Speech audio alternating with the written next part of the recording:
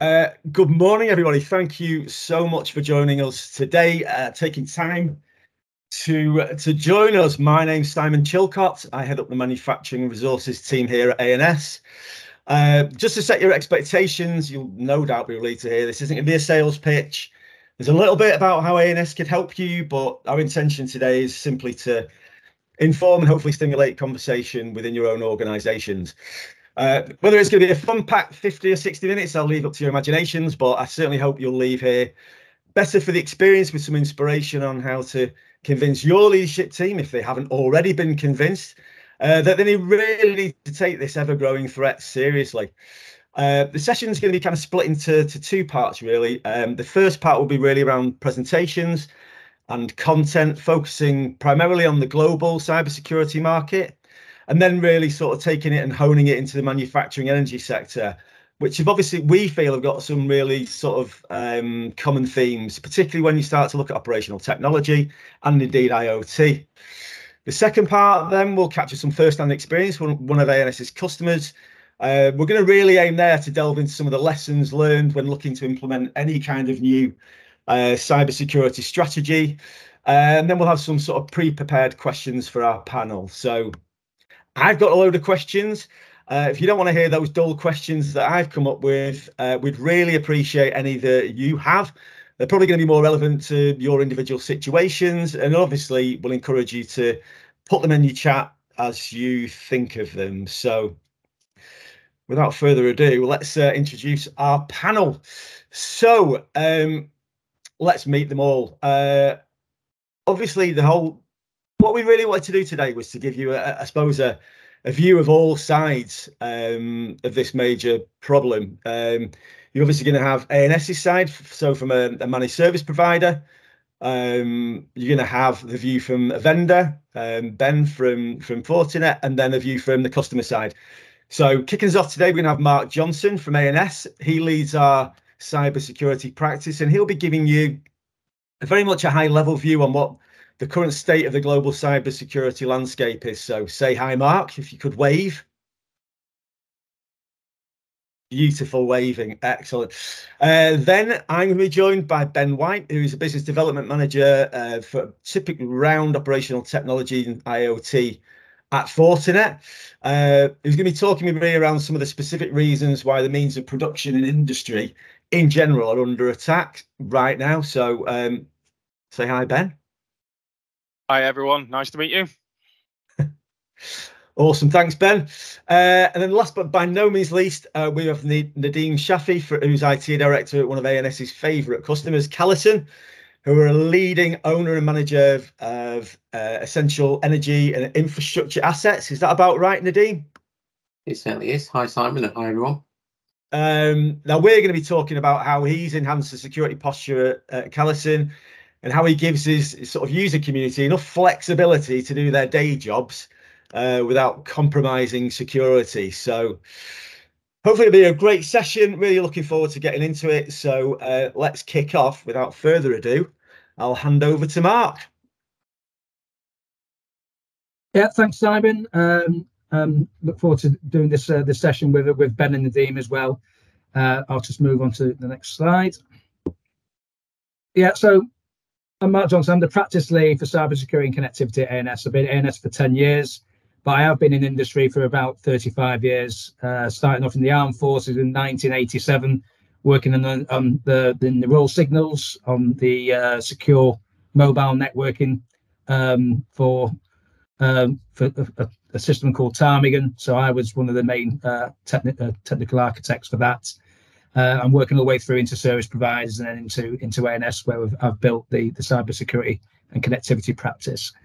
Um, but today I'm going to talk to you about the the cyber landscape. So this is more from a general point of view, but what we're seeing as a partner, uh, working with our vendors such as Fortinet, uh, Microsoft, Cisco. So we're working with all these guys uh, to understand what that cyber landscape looks like.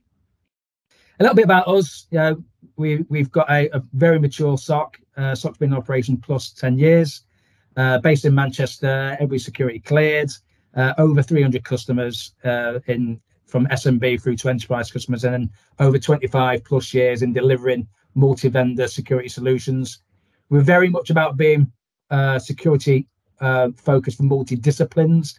And what we mean by that is we provide security by default and by design and by deployment. And that is all within uh, those architectures you can see them practice. So DevOps, AI, business apps, cloud infrastructure, and data. And then some of our accreditations from a, from a micro, Microsoft perspective on the right hand side, include ISO. Uh, and then obviously our main partnerships with the likes of Fortinet down at the bottom, which shows that we've got a, a pedigree of, of experience and maturity in this in this space. Uh, and I'll move on to the later parts of the uh, of the presentation now. So, what is driving change? So, ANS is a, a, a digital transformation business. When we are modernising a lot of businesses at the moment, so security is one of those things that is that needs to be taken extremely seriously as we start to have that paradigm shift into into everything that's cloud and digital. But a little bit about the where the cyber uh, criminal economy sits. So it's the third largest globally. From a GDP perspective, it comes third after China, the USA, and then the uh, cyber criminal economy is, is, is, third. And that's got a market of $6 trillion. So it shows that these is very well organized. It's not some teenage, spotty teenager sat in his bedroom in a hoodie trying to compromise uh, businesses. It's actually extremely well organized. And what I've got here is an, an excerpt from the Microsoft Digital De- Defense Report uh, from 2022, which just shows you how well organized it is. So if you look at the bottom of the three circles, that is where you've got access brokers trawling network, uh, trawling the, the the the internet, looking at uh, organizations and looking for people with weak, you know, hygiene practices or vulnerabilities, uh, maturity, posture. And what these access brokers do is they sell that that information or that uh, that knowledge into affiliates, same as a kind of a franchise that will go out and start to compromise business and start to use programs such as Lockbit. Lockbit turned over last year post $10 billion based in the US. So as you can see, that's one of the largest ransomware as a service programs. And of course, they do everything from giving you the software you need to download and, and, and the, the encryption keys but down to the payment from the actual customer itself using cryptocurrency. But as you can see they're really well, well, well structured, well organized, and these are things that we've got to protect against. But what we also see now as customers start to modernize, and especially if you're looking at manufacturing and, and resources, modernizing has been that long process. Unless you are a relatively new startup, trying to modernize is quite is quite challenging. And these are probably four of the themes that we're seeing. So as people start to move to cloud, you're now moving on to a shared platform. You're looking at different tools, different services, different application requirements. Uh, using more DevOps, more more, uh, more modern agile processes. So to ma- trying to manage those deployments from a cloud perspective, moving from traditional, has been quite a challenge. Also, doing this, we're finding that most of the businesses that we have been working have kind of been skipping security and obviously not looking at security in, in any kind of depth. I mean, it is the the end to end landscape is quite massive, but things like mobile IoT are the areas that probably are being skipped and not being taken into consideration. And then as we start to modernize as well, you got uh, services such as power platforms or looking at dynamics or any SaaS-based services. We've now got business units within within organizations doing their own thing. So like a shadow app deployment, which is obviously moving not using IT to be able to go and do that type of work.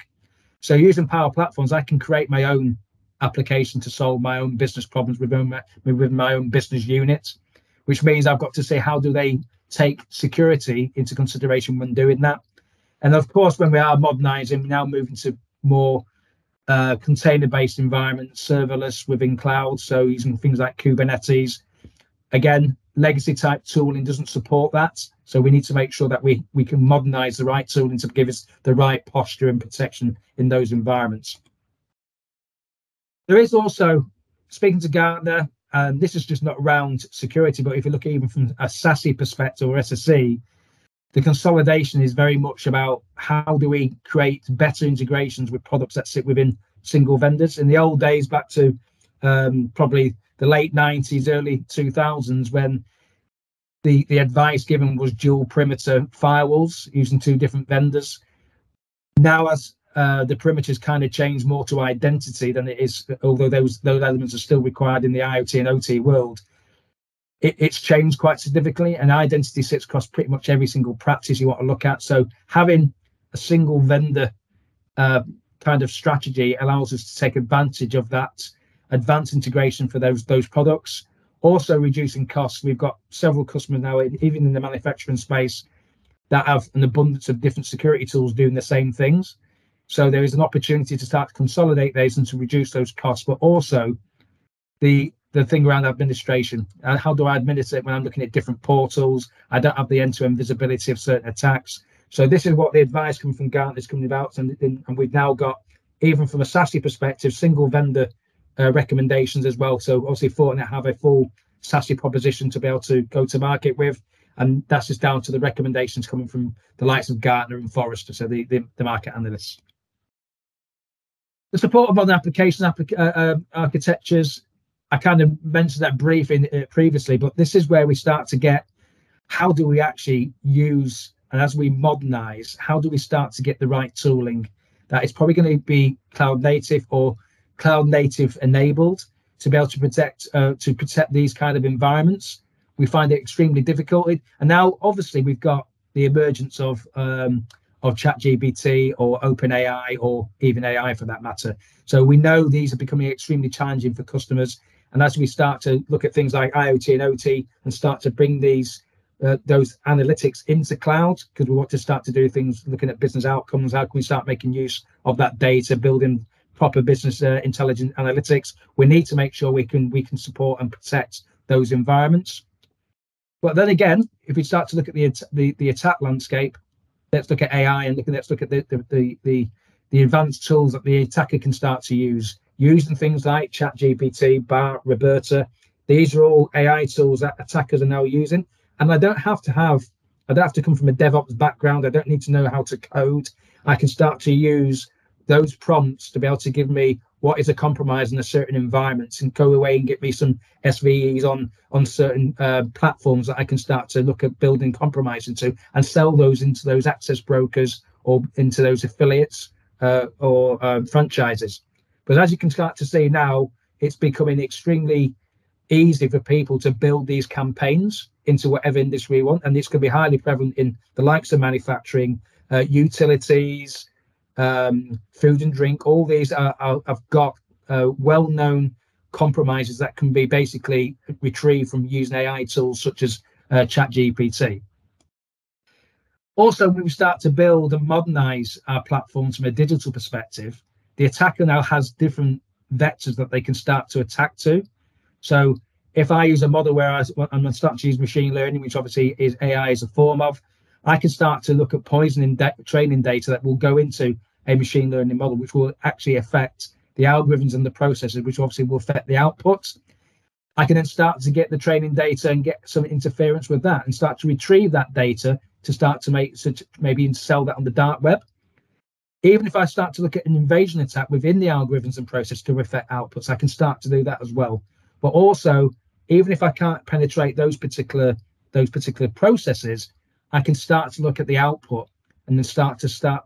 Um, if I've got something that's IP and it's uh, and it's very niche, I can start looking how do I actually nick that, uh, steal that model, and then sell that again on the dark web or into those uh, into those affiliates. So quite quickly, you can start to understand that there's loads of vectors we need to start to think about when we start to modernize and start to digitize and using the things like AI, which we know are very much in the forefront now.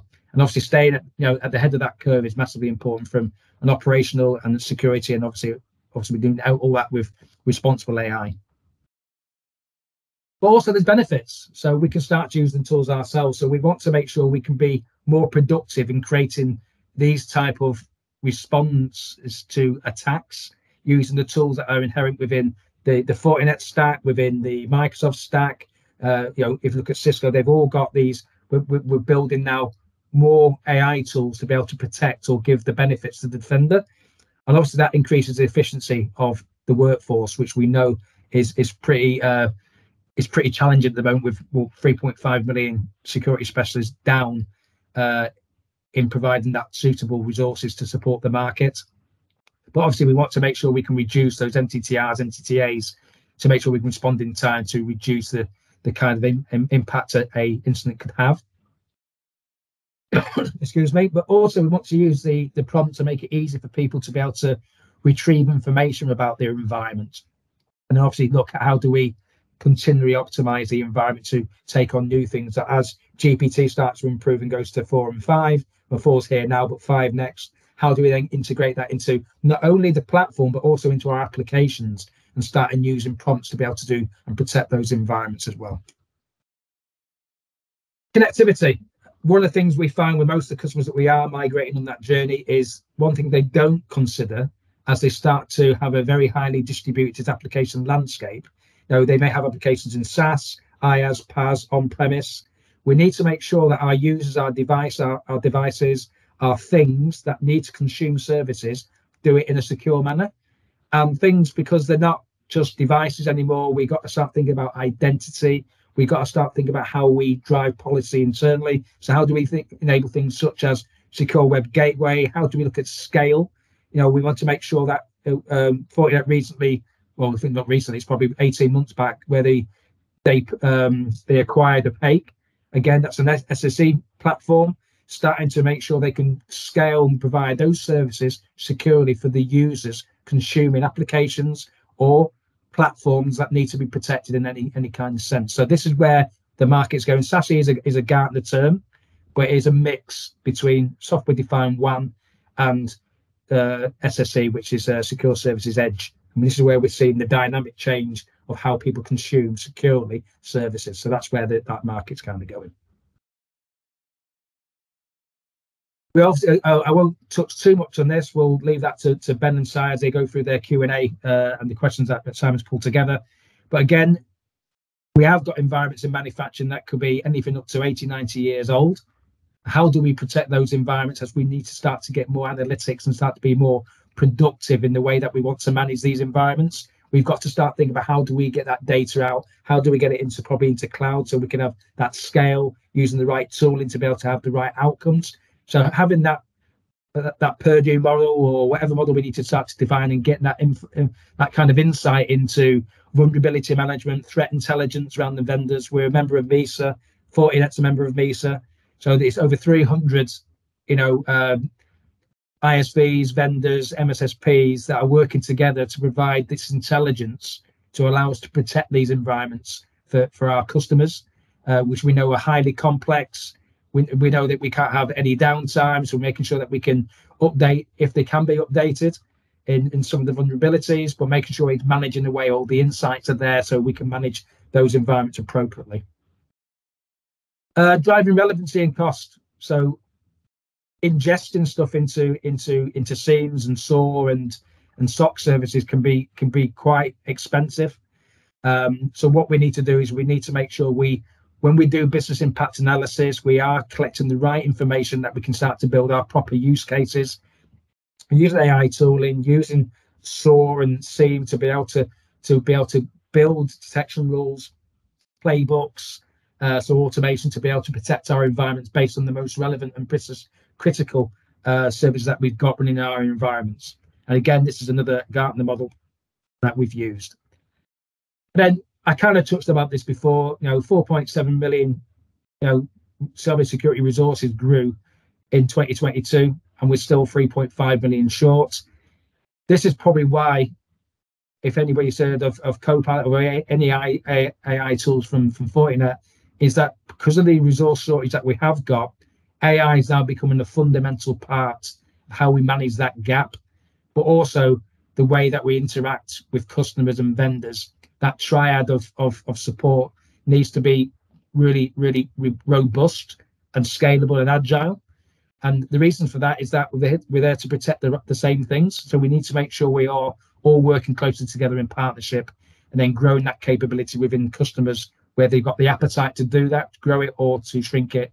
That should be agile enough. And that's why MDR, the Managed Defense uh, Detection and Response, which is a cloud based service, is agile enough to be able to grow or contract as it sees fit. And of course, we can't get away from cyber insurance. It's it's uh, probably the bane of most people on the call's life. You know, we know the threats. Uh, you've you've got um, quadruple ways of of ransomware actually attacking using the RaaS schemes that we mentioned at the start. You know, whether it's just encrypting your data and asking for payments, whether they actually are actually um, stealing the data and then publishing that data for, for cost, and then threatening then to uh, uh, affect the availability of applications and services that you provide to your customers or into the internet, or also harassing your your uh, supply chain. Again, four ways of doing it, and we the survey that was we've picked up here is 83% of those C, C level respondents. I don't think they're adequately supported from a cyber threat perspective.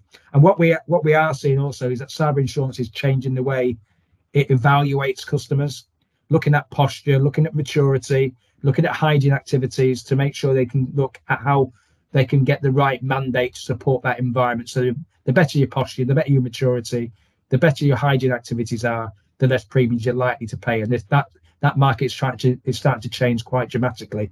So you should recognise that if you if you're going through these uh, these steps. And then what the boards need to know. So I think Nadine will probably touch upon this uh, as a board member itself. Is is how do we get the security, uh, not the, the actual board leadership, to understand how we want to to to manage security or manage incidents or risk, and obviously identifying what the business critical assets are, what is the likelihood of that compromise, and then what is that impact, but also what is the cost to to remediate is probably a high level simplistic way of uh, attracting funds from the board because they they need to have this in layman's terms now, this has come from multiple um, global C- CISOs of recommendations to boards, uh, and what, what I've done is extracted that out to find out just so they can know layman's terms. Anything that affects revenue, anything that affects profits of a business uh, is, is is massively important to any board. But also, how do we use security to to to build value, create that opportunity, and and also drive profits and trust with our with our customers because uh, if we are safe pair hands to deal with, then there's no reason why that would not attract you know additional business into some of the entities that you're working with. So I'd, just like to thank you for, for listening to me there. I hope you found that a bit useful and what we're seeing in in, in uh, from a global threat perspective. But I'll now add in uh, well I hand over now to, uh, to to Simon and to Ben uh, to go through you know why industrial production is under threat. Thank you very much, Mark really appreciate that whistle stop tour of uh, the global cybersecurity landscape. I'm sure we're all suitably uh, concerned. Um, but now I'm joined by Ben White from Fortinet, who, after a little bit from me, sort of setting the scene with some hopefully interesting facts and figures, um, we're going to walk through an exploration on why the industrial sector is under so much intense pressure right now, uh, particularly from a security standpoint. Um, Okay, so uh, most attacked industries last year. It's obviously not a particularly well kept secret, but industrial production has been under attack for quite a while now. Um, looking back at last year, it's the second most targeted sector. And obviously, if you incorporate retail, transport, energy into the mix, food and drink, obviously, if you look at this from a supply chain perspective, that's quite a, a heavy mix that are all involved or potentially potentially um, involved in in that scenario. Um, again, when we look at the beginning of, of this year, the first quarter of this year, the story is very much the same, but with a obviously manufacturing being seriously out on its own, um, and even just you know speaking from experience of our own teams um, in this sector on day-to-day conversations with our, our prospects and customers. Um, that really absolutely rings true. Um, I, I, guess it's possibly, you know, in the past, manufacturing has been left alone. Um, hackers or uh, bad actors have had a sort of bigger fish to fry, uh, whether it be large corporates or the financial sector.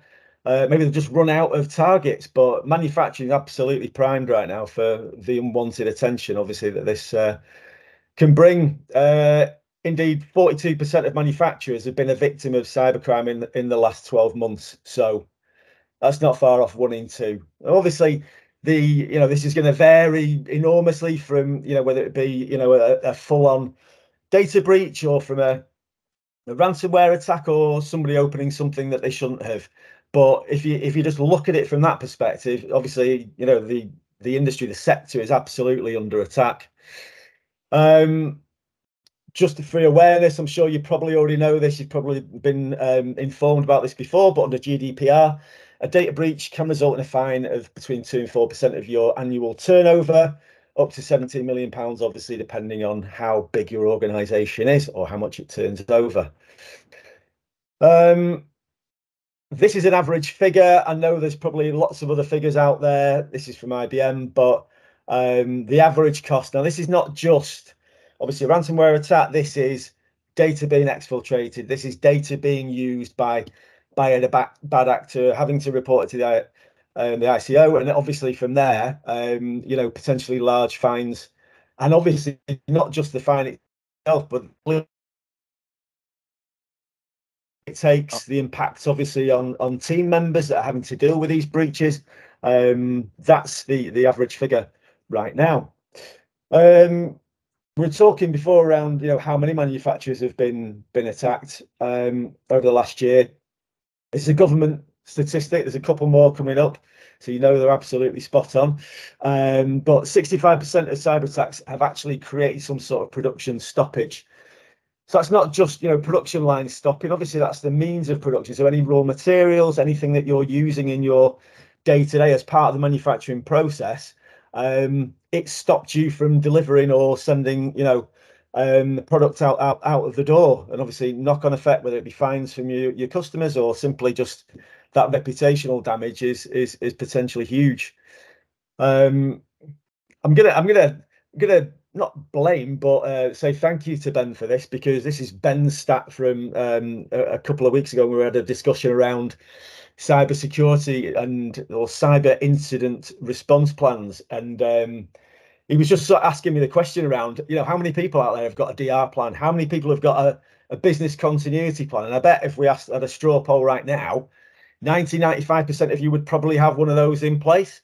Um, you know, whether you test them on an annual basis is obviously between you and your uh, organizations and your conscience, etc. But the reality is, is that you know we are as a as a nation underprepared for what happens if. You know, what are you doing? What if planning? Um, and how is that actually? Um, how is that actually sort of being being born to bear? So more government statistics. does mean that these companies do have these in place. Don't means that these companies don't have these in place. Just to be clear, as you're reading through this, it's obviously a very, very busy slide. Um, and you'll think, what? People haven't got up-to-date malware protection. I mean, my mum's got up-to-date malware protection, right? And I hear about it on an annual basis when she needs to uh, to renew her policy. Um, but if you think about it, this is this has been taking a thousand businesses across the UK, small, medium, and large. I suppose what I'm trying to uh, bring up here really is around it's around supply chain. I'm sure that 90, 95% of you, hopefully more, have got you know policies in place uh, to you know to apply security updates within 14 days or VPNs for your staff to remote in, monitoring user activity. I'm sure you've got those in place. But what if your supply chain doesn't? What if they don't take security is as seriously as you do. Obviously, again, we were talking about the knock on impact, reputational damage from something you're not necessarily doing, but something potentially your supply chain is. You know, if you've got 30, 40, 50 people in your supply chain and you're the end producer, then obviously it can have a massive impact. So that's just some facts and Simon. figures just a quick one before you move yeah. on to that. Looking at it from a different perspective, it'd be interesting to see the performance against those for the people who do. So if you look at a policy to apply a software security update within 14 days, and you apply at the moment that we're in the middle of Amazon Prime, so you've got a lot of manufacturers yeah. who are trying to ship out um, stock to someone like one of their biggest um, supplier or biggest uh, customers, Amazon. Yeah who are going to compromise for that 14 day policy to be able to get product out the door so wow. they don't take they don't take the line down to be able yeah. to get it out so it'd be interesting to see the uh, statistic with regards to yes we've got these but how do we enforce them what's the kpi against enforcement of them we're 100% or actually if we have to compromise this for yeah. operational performance or getting an order out we will compromise it yeah, we've bought it, but we're not going to use it this week because X, Y, Z. Yeah, no, yeah. that's a really good point. Wow, that's even more concerning. Uh, thanks for that, Ben. Uh, so what we were going to do is just to literally do a bit of a run through and examine, I suppose, in a bit more detail why we feel industrial production is, is kind of under constant threat right now. Um, you know, we're seeing manufacturers in the news being attacked sort of daily by automated attacks, and Mark was obviously touching upon, you know, people using AI and that automation is, is really um, is starting to make it so much easier for them. So we've kind of split it into ten key areas, which we feel are obviously relevant to you know, to the manufacturing, um, resources, uh, energy, utility sectors. And we'll just we'll just literally roll through them. Um, I'll have a few words on, on on each, and then Ben will jump in on a few of them just to sort of give some examples where you know he's had some experience within within Fortinet as to to what's gone on. So, um, so from a critical infrastructure perspective, obviously it's a hugely attractive um, target for the hacking community. Uh, shutting down the means of production to an energy provider or a large manufacturer is obviously going to create big news. There's typically three different reasons why someone's going to do uh, some sort of attack or create, you know, become a bad actor, for want of a better word. You know, it's money, typically motivated by money. Um, celebrity, you know, becoming big news within the hacking community. That's something they get very excited by. But obviously, in the case of some sort of state-sponsored attack, particularly when you're looking at critical infrastructure, there's a political element to it. Um, and obviously, hitting an organisation that's responsible for critical infrastructure, um, or as a major uh, global manufacturer, obviously means you're hitting pay dirt for uh, these characters.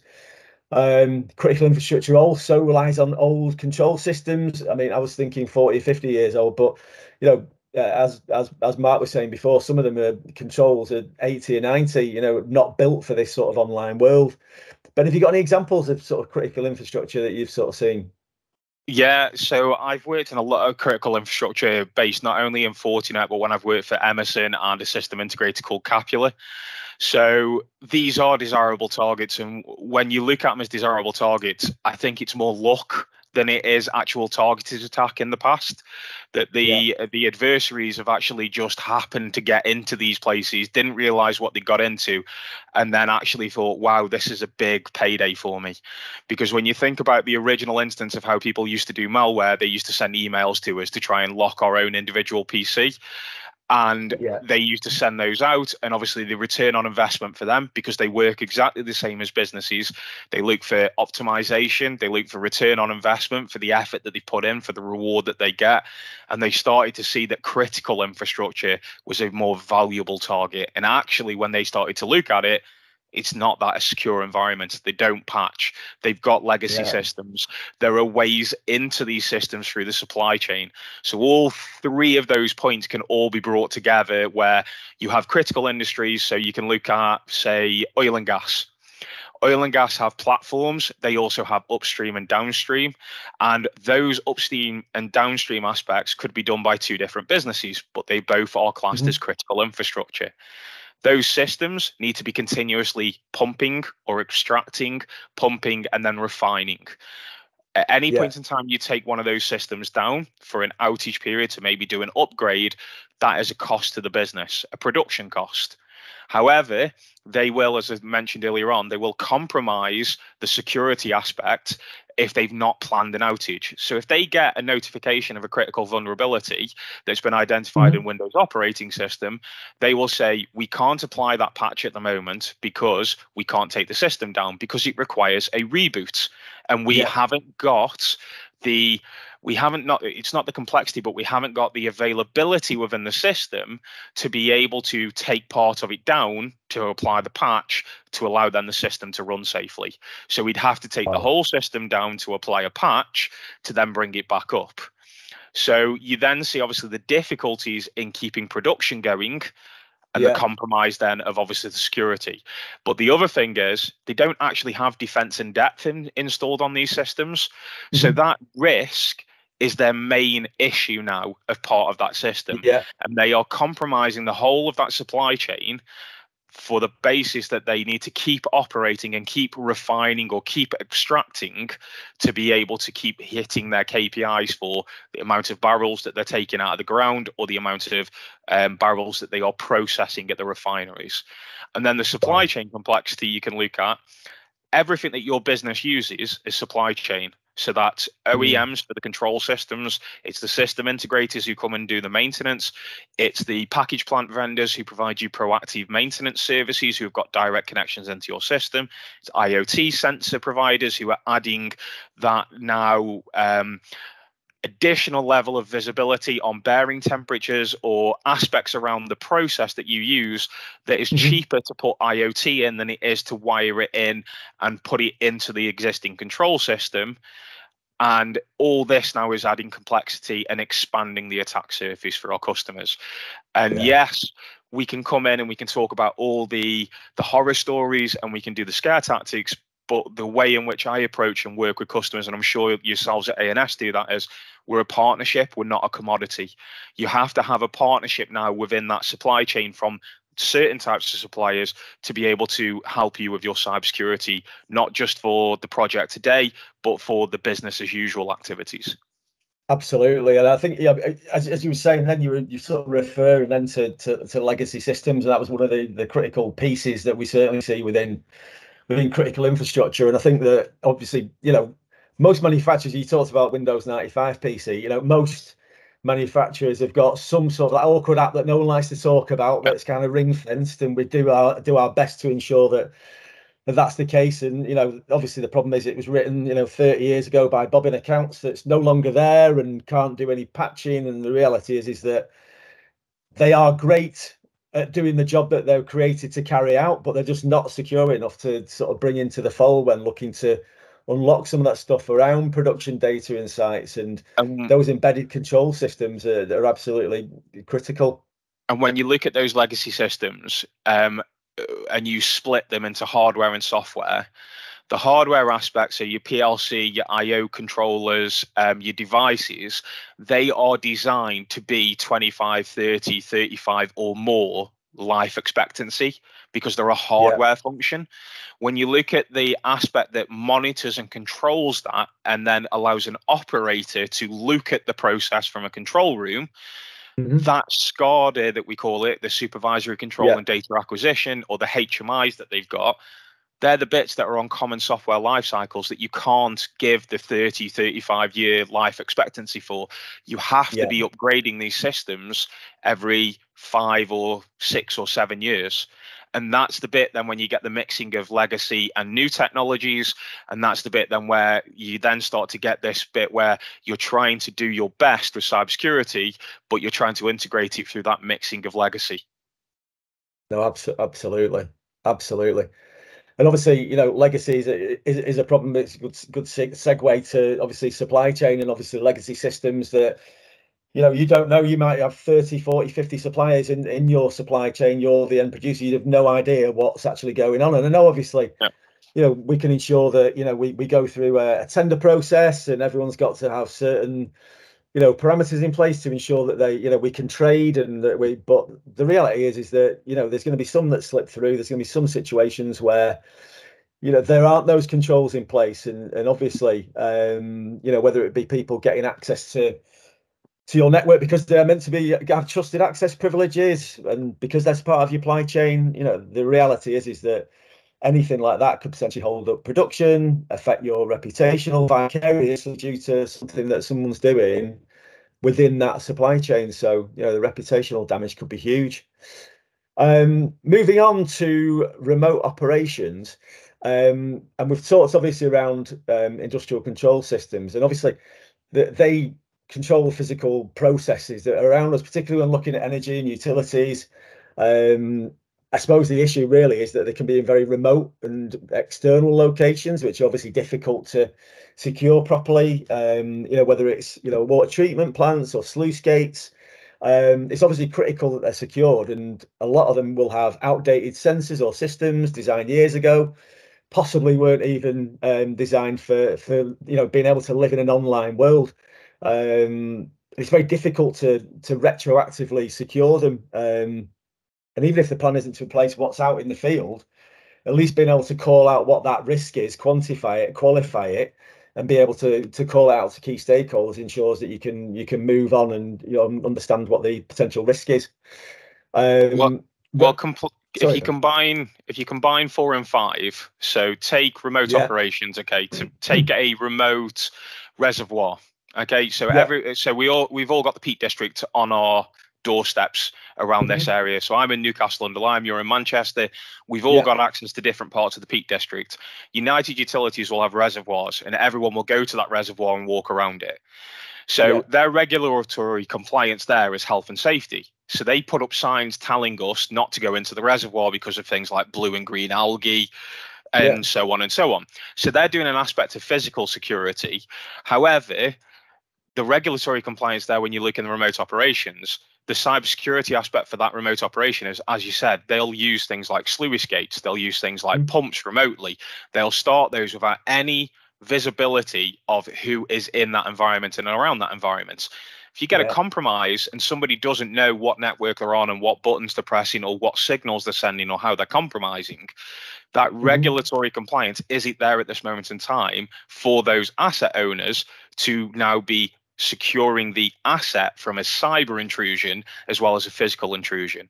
So the Health and Safety at Work Act in CDM regs tell us that we have to not only protect our workers, but we have to protect the general public in the mm-hmm. environment that we are changing or we own and therefore that general public will have to be protected from a cyber intrusion as well even though there's no direct link between health and safety and cyber.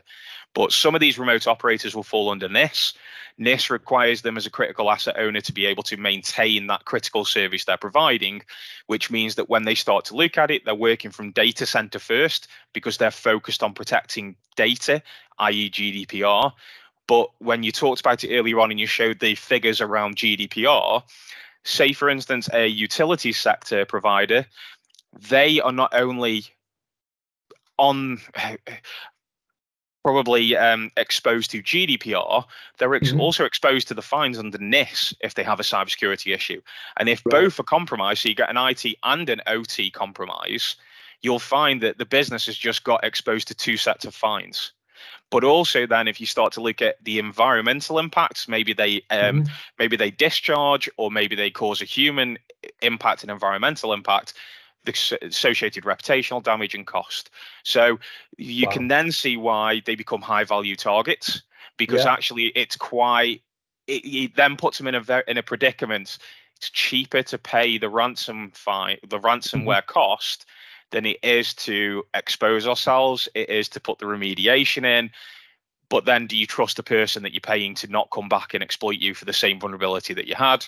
Yeah. So it, it, the they all can tie into each other if you just take one particular person. It, they're all very interesting topics that you can talk about for hours. No, absolutely, absolutely. I was gonna, I was gonna say, we're, we're in the interest of time. I think we might need to uh, we'll we'll we'll skip on we'll skip on yeah. to the next one um, and then and then finish really. So um, obviously, you know, we talked about data integrity, but certainly geographical um, geographical distribution. I think was one of the uh, the areas that we were talking about before around you know remote offices, sites. Um, obviously, if we're looking on a on a global um, footing, obviously uh, geographical boundaries can be challenging, and obviously each will re- require each country will require uh, you know a different kind of approach. Um, makes it much harder to to implement policies that are consistent.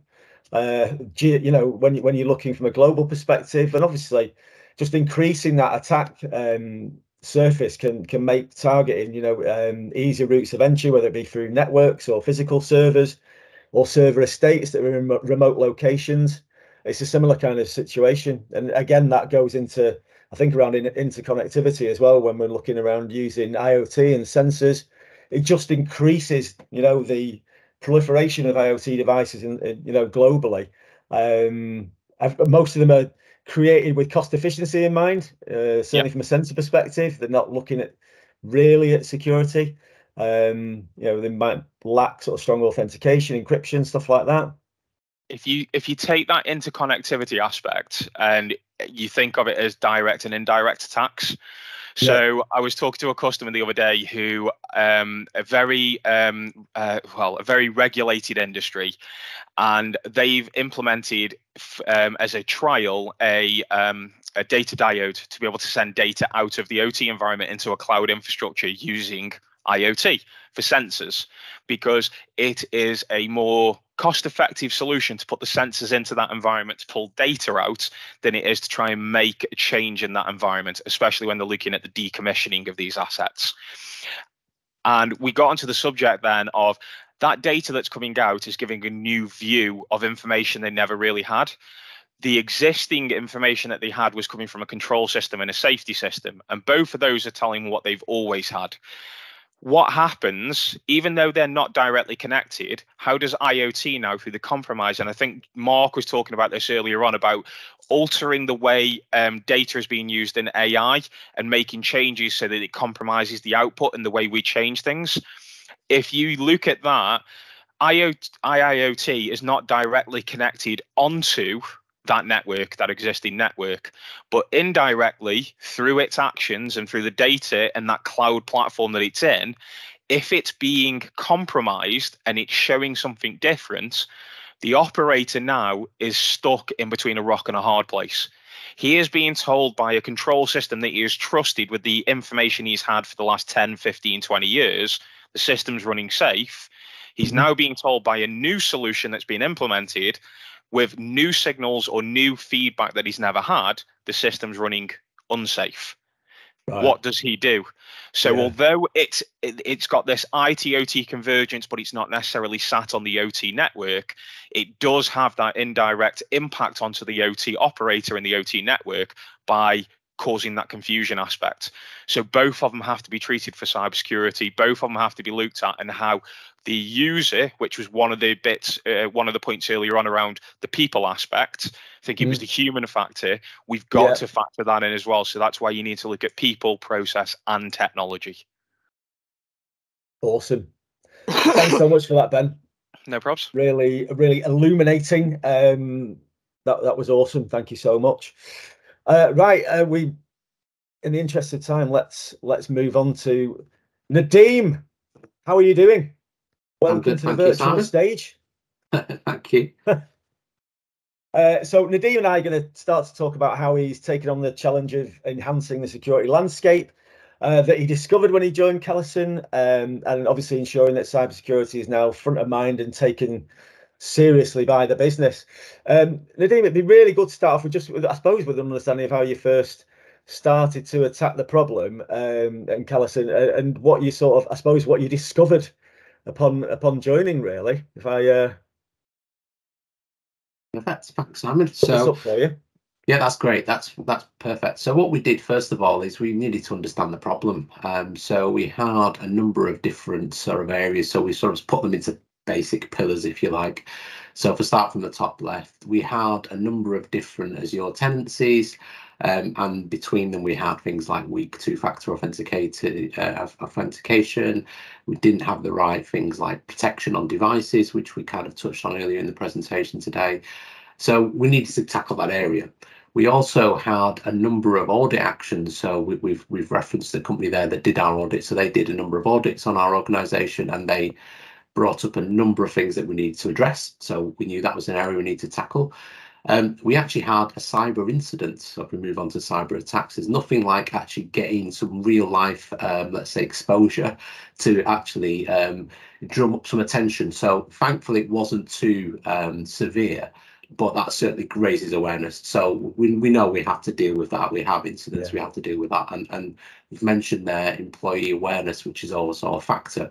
We haven't done as, um, as much training as we'd like to in that space. And then finally, we were working with ANS again, not a plug to you, Simon, so don't, don't worry, um, because we had to do a number of uh, cloud migrations and consolidations. So we had uh, quite a lot of on-premise servers. Um, and we had to go through a process where we were migrating them to Azure and deprecating data centers, etc. So that gave us quite a lot of challenges in terms of making sure we manage that project while still keeping an eye on security. And Ben will be pleased to know we are using Fortinet as well. So there you go, another plug for you there. So there was a lot of um, a lot of things going on. So first thing was we had to get that problem statement understood, and that's where that background sort of slide is really helpful. Yeah, brilliant. Thanks for that, Nadeem. And I suppose, obviously, um, like any, when you get to any kind of situation where you are looking, you've, you've come in and you thought, right, there's there's some stuff I need to do here, for want of a better word obviously then that that leads you into sort of putting together or pulling together a plan a strategy um, some kind of roadmap that you sort of, I suppose, that you intend to to follow over the, the next few years. It'd be really good if you could just take us through what your kind of what your thoughts were at that time, and then obviously into what your sort of what your plan is moving forward. That would be that would be awesome. Brilliant. Yeah. So First of all, what, what I like to do when I sort of tackle these situations is to put together a strategy and a roadmap because I think it's really important for everyone to see what you're trying to get to and how you're going to get there at a high level because ultimately you've got to present these things at, at a board level and you've got to make sure people understand what you're trying to do. So we as a team, we, we went through a brainstorming exercise of what we're trying to get to, what's our North Star, etc. And then we put together a roadmap of how we're going to get there in simple terms. And some of the key steps here we've, we just illustrated on the slide. So the first thing is what well, we needed to get in a um, some kind of proof of concept or incident on something to help um, almost illustrate the fact that we do have issues that people probably aren't aware of. So we've got to highlight the the, the fact that we we are not some kind of organisation that is immune to attack. We are having things going on, and we need to illustrate that to everyone. So so that was the first thing we did was get something in there to kind of illustrate that. The second thing is we want to put together a plan to attain things like Cyber Essentials Plus. Um, so we do have um, ISO 27001 accreditation, and then there's a number of steps you have to do to, to do that. But actually, we wanted to add to that and, and do more in terms of our environment. So that meant we had to look at things like the the NCSC's Cyber Essentials um, and the Cyber Assessment Framework, and there's a number of steps you have to do to do that. So we looked at the best practices.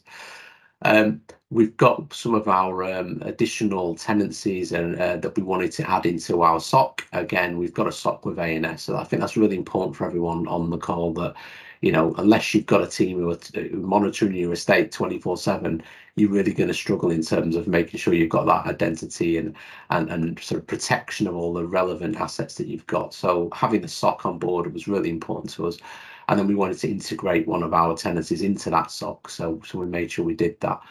Um, and then not sure where the slide's gone, but don't worry, I'll carry on talking. Um, and then what we did is we, we put together uh, an awareness program uh, around education of users. So what we, we, as we talked about earlier on, we, we were really keen to make sure that the weak point wasn't our users, which usually is the case. So we put together an education program around cybersecurity, uh, and some of the stuff actually Mark's highlighted today is really useful actually in, in that space. And then finally, uh, and which is always important from a from an ISO point of view, is we're working with a, a, different third party to do things like pen testing, which often gets sort of overlooked. But you know, you annually have to test different elements of your organisation to identify areas you need to improve on. So it's part of that continual improvement cycle, really. So so that's what we did at a high level. Um, and let's see the slides have come back on now. So we put that roadmap together, and the key thing was for me, I'm conscious of time, is that we were looking at metrics such as the Microsoft Secure Score to see how we were getting on uh, on that roadmap. And, and, I'm pleased to say we, have made significant progress since since the start of the year. Um, and, and, I'm not going to steal thunder because that's something that we'll do at the end of the year. But but it's it's been a really good journey, and we've made significant progress. So I'm really really pleased with that. That's awesome, Nadeem. Uh, unfortunately, I didn't hear probably about a minute or a minute and a half of that because it would appear that uh, OpenReach have actually managed to sabotage the, the last five minutes of this uh, session. So I've now tethered. Um, so um, I'm assuming that was absolutely fantastic, and thank you very much much for that. It'd be awesome if you could just give us a bit, I suppose, a bit of an understanding of how you've used employee training and awareness, and kind of um, got to a point whereby you can um, I suppose, uh, get to a point whereby you can take their I suppose not take the um, take the lead, but obviously, yeah, take the lead from a security perspective and, and really sort of ensure that they are doing what they need to do. I think it's really important to highlight um, how users can interact with with systems and cause security incidents. So clicking on a link may seem harmless, but if you actually illustrate what the impact of that is, for example, and how everyone's responsible for that, it's, it's not just the technology function. You know, you can protect as much as you like, but ultimately users have to be part of that protection. So I think it's really important that we need to make sure everyone's aware of that. Absolutely. No, to- totally agree. Listen, thank you so much for that, Nadeem. Really appreciate it. Apologies, it seems to have gone to, to a point whereby we've absolutely run out of time.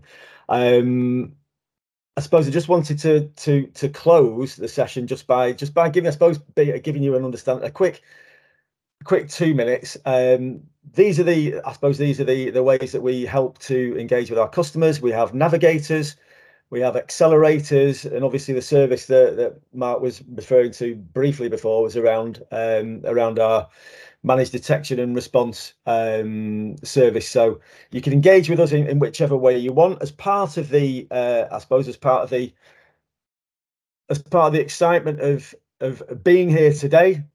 Can you see that, Mark? Or am I just moving between various different slides now? You can't see anything at all. You see me? We we can see you. We can only see the first slide. So that's the first slide in the deck. So right, we need well, to I'll get just, to I'll just talk through it. So at the end of the day, the the idea is that obviously being here today, we've got a complimentary workshop. We can give you a high level review of your cybersecurity and governance, and, and effectively give you a, give you an understanding of what your potential governance strategy could look like, a high level adoption roadmap, um, and then a, a business case for change if you do need to do so. So really appreciate you being here today. Obviously, if you have any questions, please don't hesitate to to get in touch with us. Um, and we're going to close the session there. Thank you very much indeed for attending.